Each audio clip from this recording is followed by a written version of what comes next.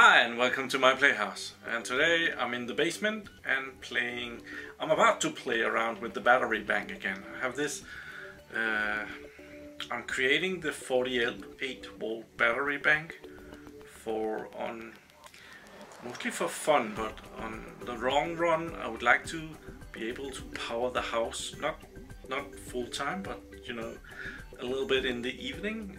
Have like a switch that you can uh, switch the power over to internal power and like have a battery bank that you can run the house on for a couple of hours and then switch back to the grid. So kind of like partly off-grid system.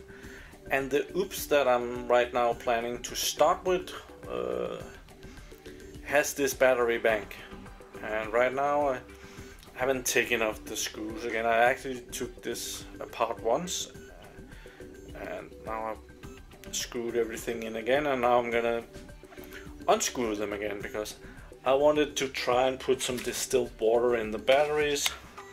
Haven't had much luck with this uh, earlier uh, but I saw another video with, with someone explaining that these batteries had like a gel inside of them. It wasn't really, they didn't really have a lot of water, they just had this gel and that you shouldn't put too much water in them. So I was gonna experiment with taking the lead, taking this apart and disassembling all the batteries and putting in a little bit of, of distilled water in them to what was said was that the the gel dries out and becomes too thick and is not able to cover all the plates or something like that. So.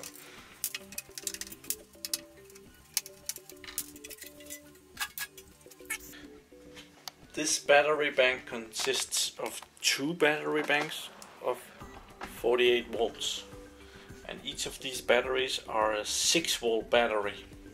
These are just loose. Um, but really to get into the batteries I need to get rid of this. Uh, so I'll try and get that off of here. But if I I'm afraid that I won't be able to remember where, where there's drawings might be able to figure it out. Yeah I'm gonna take these off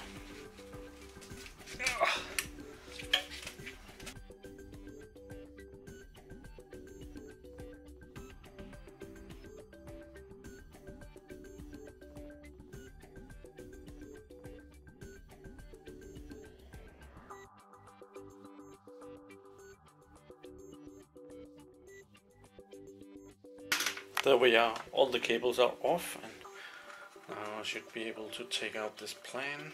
It's just a piece of, I think it's paper.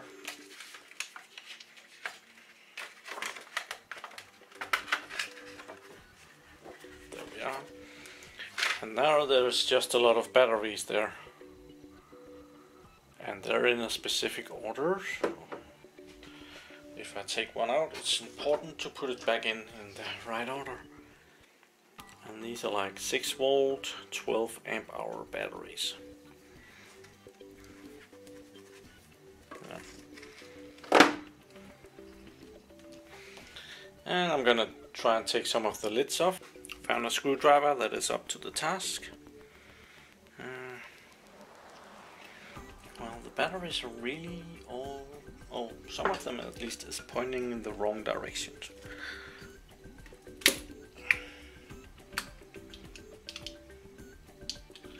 Taking up the lids.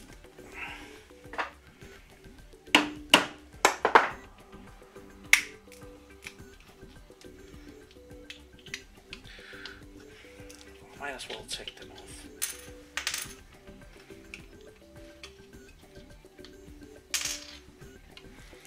Reason to film that. Yeah, now all the lids are off. There's still these rubber things on all the batteries. I'm gonna I'm gonna take those off as well. Luckily the they're the same on all the batteries, so it doesn't matter if I mix them up. one of the batteries are it's saying some sounds, which is funny. That one had vacuum inside of it.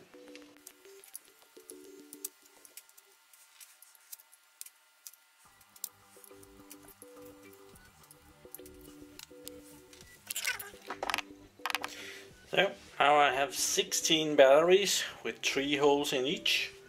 That needs some distilled water in each of them. And I think I'm gonna give it like two milliliters. Like two lines on the big syringe for each little hole. See how that works out.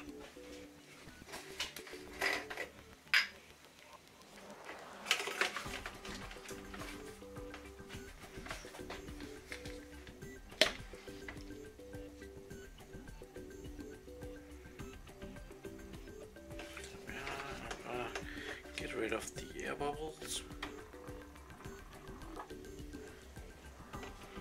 Just go up to 40. There.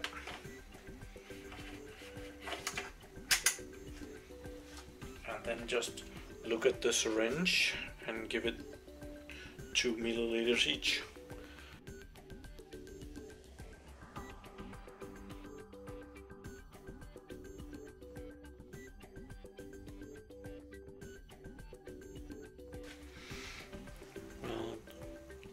Wanted to see how much 2 milliliter really is. So I'm just gonna press out 2 milliliters here. That's not including.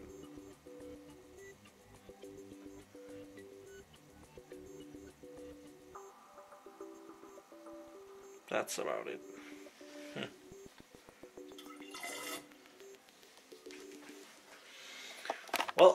Well, I finished. I put in two milliliters of water in each cell. I'm just looking inside of the cells and oh they look very dry. I'm really tempted to put in some more distilled water here. It doesn't really look that good. I'm just gonna try and let, let this soak in. I'm gonna put on all the lids again, all the rubber things here, uh, so that the distilled water doesn't evaporate. evaporate. And I'm not, I'm not really gonna touch the batteries. I'm just gonna let the distilled water soak in.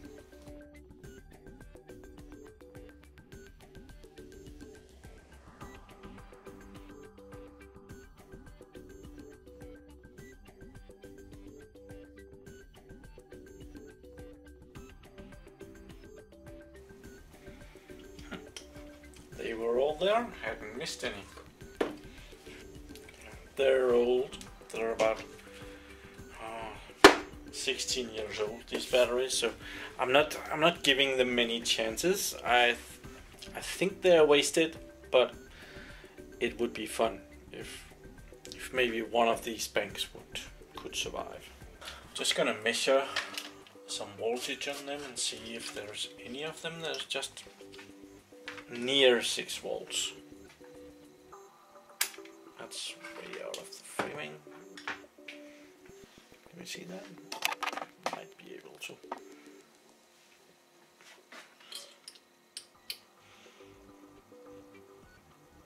Oh. DC current. It's a good idea.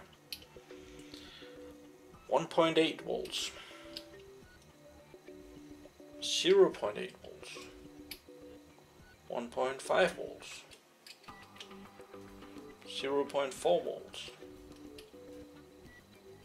0.4 volts, 0.3 volts, 0.6 volts, 0.6 volts, 1 volt, 2.3 volts,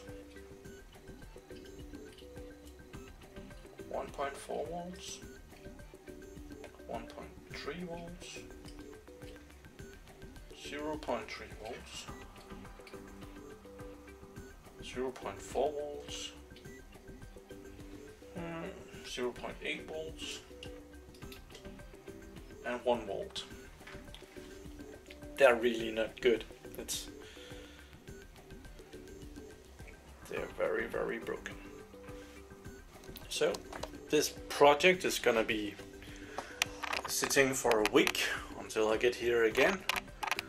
And it's it's kind of an in the way on the bench here so I'm gonna I'm gonna put it over in the on this shell